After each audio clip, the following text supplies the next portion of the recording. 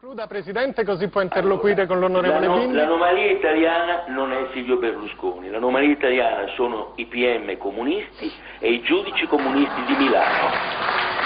E da quando, e solo da quando, Silvio Berlusconi è sceso in politica e ha sottratto il potere ai comunisti, lo hanno aggredito con 103 procedimenti ed indagini, con 36 processi, l'hanno messo in più di 2500 udienze, in totale sono 109 i magistrati Presidente... che si sono interessati di Silvio Berlusconi e del suo gruppo. Allora domando, ma Silvio Berlusconi era davvero l'imprenditore più criminale della storia del mondo? È lui l'anomalia d'Italia allora, o piuttosto l'anomalia sono i PM comunisti e i giudici comunisti di Milano che in allora. effetti sono ormai la vera opposizione al governo e alla maggioranza eletta dagli italiani.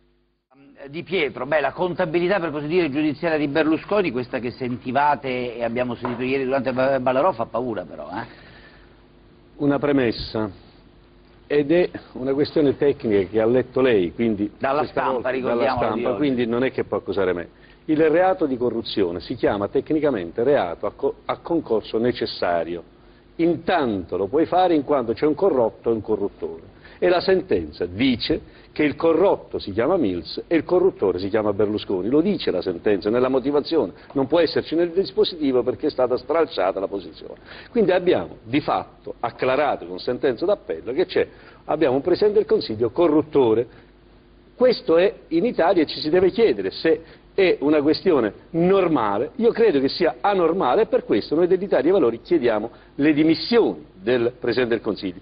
E il 5 di dicembre, su una manifestazione promossa non da noi, ma dalla rete, dal vostro movimento che, che c'è in rete, parteciperemo anche noi per manifestare e per chiedere formalmente e solennemente le dimissioni. Una seconda cosa, se ha corrotto un testimone, un testimone l'ha corrotto per, eh, come si può dire, tradire il risultato di un altro processo. E questo è più grave. Qual era l'altro processo su cui stava procedendo il giudice e che ha ricevuto un risultato diverso? Questo è ancora più grave perché sono almeno due i processi interessati e interessanti ed ancora più grave. Terzo, soltanto per un elenco e per dire i giudici italiani non si occupano solo di Berlusconi. In queste ore, in queste ore abbiamo indagini fortissime in campagna contro ed è contro una giunta e un governatore di centrosinistra, in Puglia contro esponenti del centrosinistra, in Calabria contro esponenti di primo piano, tutti, sto parlando tutto a livello di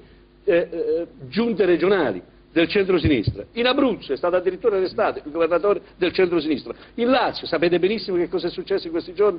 Cioè, ma i magistrati non sono tutti comunisti, dice eh, lei. Eh, no, no, no, no, non sto dicendo no. questo, in Toscana dove ieri hanno arrestato, in Campania, dove addirittura hanno arrestato de, de, de gente di sinistra che ammazzava e gente che faceva le vittime. In, a, livello nazionale, a livello nazionale i magistrati hanno chiesto l'autorizzazione ad utilizzare l'intercettazione telefonica contro esponenti di primissimo piano, sto parlando di D'Alema, di La Torre, del centro-sinistra. La, la colpa non è dei magistrati che oggi indagano uno di sinistra, domani uno di destra, domani Berlusconi, dopodomani Di Pietro. Di Pietro, l'altro ieri, di Pietro, io, l'altro ieri, sono stato indagato alla Procura di Roma per vilipendio eh, eh, al, al, Capo dello Stato. Per, pentito, del, però, per, no? delle, per, delle, per delle azzardate, improvvide parole che ho detto, di cui mi scuso ancora adesso.